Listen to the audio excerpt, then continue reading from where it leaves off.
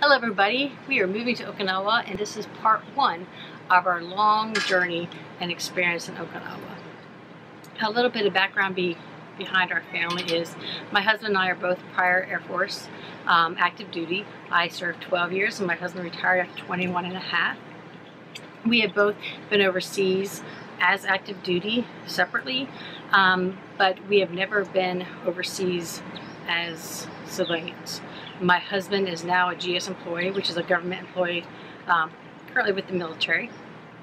And one of the benefits of that is that we can apply and try to go overseas, which we've been applying for many years, and we finally got an assignment to Okinawa, and we'll be leaving on the 3rd of August, which is less than a month. It's like 20 some days away. Um, but through my experience of trying to learn what we need to do it's been pretty rough as active duty members. It's pretty spelled out for you um, where you, what you need to do and where you need to go. As civilians, it's not very clear cut. A lot of it is based on hoping that you know what you're doing, which in this case, we don't 100% know. Um, a lot of things are similar with active duty, but there's a lot of things that are not. Um, in particular, the process of getting the assignments. Um, because I didn't see a lot of research or information out there uh, for us, I wanted to do this video so then I could help somebody else that um, is in the process of trying to get an assignment overseas or um, wants to learn some more about it. Um, so I have my notes, so bear with me. First thing first, um, whether you're a government employee right now or you're wanting to be, the first thing you need to do is apply for the jobs. And how you do that is you go to USA Jobs you go through USA Jobs, you search for the field that you work in, and you put your application in, your resumes, you fill out all the forms, and you apply for the job. Now, what happens is there's a cutoff date that you have to apply by. After that date, all the applications and resume will go through a system and will be filtered through, and it's usually based on keywords that you have in your resume and application. Um, and then once it's filtered through there, then um, a shortened list will go to the hiring official. Um, once it's at the hiring official, they could have anywhere between 10 to 30 different applicants. But the hiring official will narrow down the search. And there are certain priorities based on disabilities, if you're a spouse of a military member that was forced to move, if um, you have any kind of VA disabilities. There's different things. You get different um, priorities on that, but I'm not going into all that on this video. Um, but that does, there are certain things that will give you priority. So the hiring official will narrow down their selection um, to whatever they desire. Um, and they can either direct select the person, um, I'm sorry, back it off. Drake's like something different, bad, wrong terminology what they can do is they can look at the files and select from that information or they can interview. If they select, if they narrow it down to three people, they have to interview one, they have to interview all three. The interview can be done in person, but most mostly they're done over the phone. Um, just because the proximity, everybody's in a different place. The military is not going to pay for you to go in person to do a job interview. So they do interview, and a lot of times there will be three people on the panel. So there will be three people on the other end of the phone from you, and they will all be asking you questions. They usually have some kind of score sheet. They tally it up at the end, and they select the person. Um, and then what they do is they go into the system and they put in their top three selects um, in, in order, and then they submit it. And then that goes to the civilian personnel people. I don't know all the terminology, the civilian terminology, but it goes to the civilian personnel. They notify the selectee that they've been picked, and that could take a while. I think for our case, it took two weeks, I think, um, to get to, to know if we were selected or not. And what they give you is they give you a tentative offer. So nothing's written in stone. They tell you not to sell anything or do anything. And then once you you have usually 48 hours to reply. Um, you accept the offer, then they will notify the non-selectees that they were not selected. Um, now, so you go into the system, you, you go in and you put in your, your, you accept it. Then they're going to send you a buttload of forms, and I mean a buttload of forms. Um, my husband Jon was not anticipating all the forms that he was going to fill out, and the information that they request is, is a lot, like kind of personal stuff. But um, they ask it, so then he submitted all the documents right away. Um, he um, some jobs require medical reviews. Thank goodness ours did not, because that would have delayed it even more. Um, ours did require um, my husband to have a, a security clearance. Um, his is not was not current, but he's had several clearances before, so um, he did put in the paperwork, and that went really fast. let's see. how long did it take us? It took. Um, it took us two weeks after the tentative offer to get a final offer. From that date that you get the final offer, they can give you anywhere between 30 and 45 days to get there. Um, usually 30 if you don't have family, usually 45 if you have family. For us, from the date we got the final, it was 38 days. And 38, we had 38 days to get there. So usually active duty, you have like six months you know, from the time you know. So this is rather quick.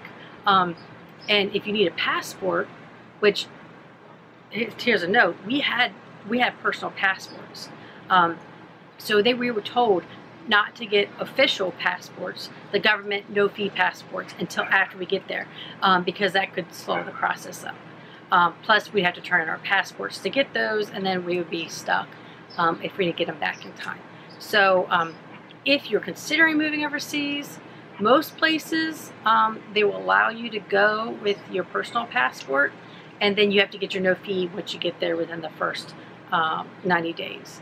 Um, obviously all that's a little different depending on the situation, but I would maybe highly encourage you to get a tourist passport if you're seriously considering it. Because um, with civilians, you don't have much time. Um, and that was a big factor. Thank goodness we had a passport. Um, so then after that happened, after you get your final information, you get a sponsor, where you hopefully get a sponsor, and then that person will kind of help guide you, get you your um, get you your mailing address. It works just like active duty sponsors do. Um, but if you don't know, they help you um, get transportation, either pick you up or arrange transportation when you arrive at the airport, kind of help you get a hotel while you're there, kind of be that person to answer the questions um, that you have. Unfortunately, um, with the time difference for us, it's it's been rather difficult. Plus the holidays, plus there's been typhoon, um, so offices have been closed over there. Um, so a lot of things we're just we're still waiting to find out about. Um, we do have we just got a forwarding address. We um, did get our flights here, and we're going commercial. Um, that's another thing. If um, active duty, most of the time you're going to take the rotator, which is a government contracted airline. Um, you know, it's it's okay. You know, it's it's a normal airline, but the quality is usually not quite as good, um, in my experience. Um, but um, they only go out so many times a week, and in our situation, we had to go out on the third. There's a specific day that we have to be there. And um, with the military, you, you have more of a, a range. You usually have within report no later than a certain date, which is usually within, you can report within that month. Uh, for civilians, we have a specific date that we need to be there. Um, if we were left, we wanted to have left the day before. Um, there was a rotator, but it was full anyway. And the next one was after when we needed to be there. So for us, it worked out good. I hope I'll let you know how that how that commercial flight goes. Um, let's see, where am I? What was I saying here? Let me get back on track. Okay, so then we have a hotel for here, um, and everything I'm telling you is the standard rule, but keep in mind there are fluctuations and not everything is set in stone. So how it works is we have 10 days in a hotel here. And then once we get there, because we're going overseas, we have 90 days, up to 90 days. And that gives us time to look for a house. So we have 10 days here. Um, that gets you like out of your house so you can um, get your household goods picked up and and stuff and have a place to, to stay and survive. Um, and so the government pays for the hotel for that. Um, usually see at TLF, which is temp temporary living um, facilities or lodging facilities. Sorry, temporary lodging facilities, I think. Now I'm questioning myself. Anyway, it's like a hotel, but it's on base. So um, the TLF here is Candlewood, um, but they're full. So we went to Candlewood off base. Um, so they have like a little kitchenette and stuff like that, um, which isn't too bad. And then it looks like um, we were really trying for a beach hotel, but it is so expensive to get a hotel in Okinawa right by the bases. And it's prime PCS season and in the summer. There was a week where each night, and this is not like a like a high-end hotel, at $900 a night for a hotel. Needless to say, the government doesn't pay us that much a month. So um, it looks like we are going to be TLF on base, which on thought of it isn't too bad. We'll be close to things. There is um, beaches on the base. Um, there's transportation. And the TLF is, um, for us, would be a room. Um, and then it has like a, a separate room with a door, a living area, and then a full kitchen is fully stocked for us, meaning dishes, not food. Um, a full-size fridge and oven and, and all that. So it's not too bad. I mean, it's not like the the nicest or the newest kind of things, but it has everything that you need plus some um, to get by until you get your house. Um, let's see. Okay, so then you also arrange your household goods to pick up.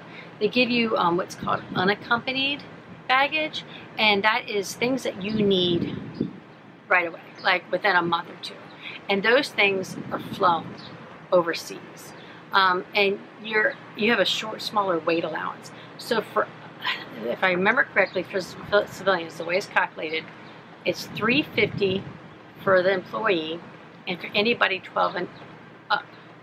And if you're under 12, it's 175. So we get,